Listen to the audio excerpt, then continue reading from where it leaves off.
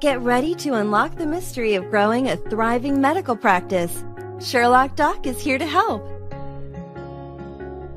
As a practicing physician, your top area of expertise is medicine, not business. For many doctors, hiring a business consultant is a sound investment because it allows them to work with an experienced professional who has a fresh perspective on the way their practice runs as a business.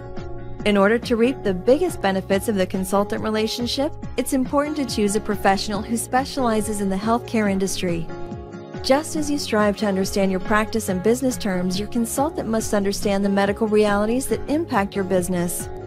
When choosing a business consultant, look for someone who offers a no cost consultation, whether in person or over the phone, has worked with practices of your size and scope in the past, can provide positive client testimonials, has a proven track record of results, asks you about your specific goals for the consulting relationship, and is able to identify issues you hadn't considered before.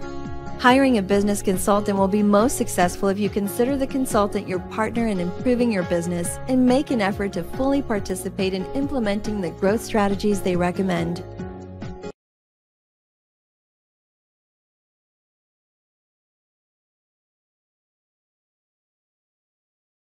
Get ready to unlock the mystery of growing a thriving medical practice. Sherlock Doc is here to help.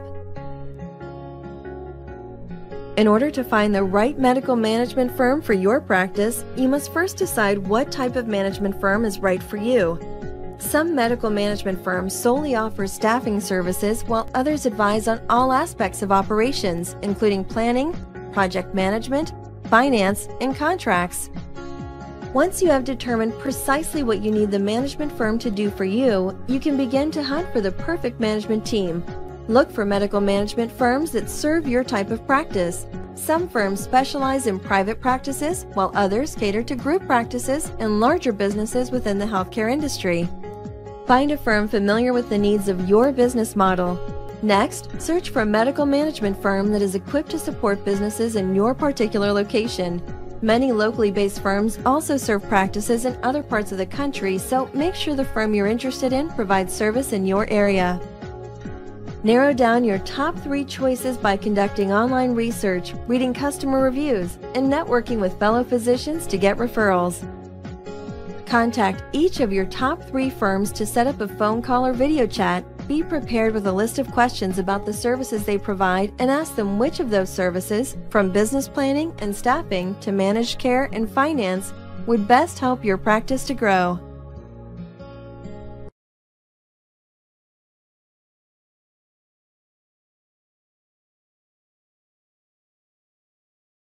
Get ready to unlock the mystery of growing a thriving medical practice.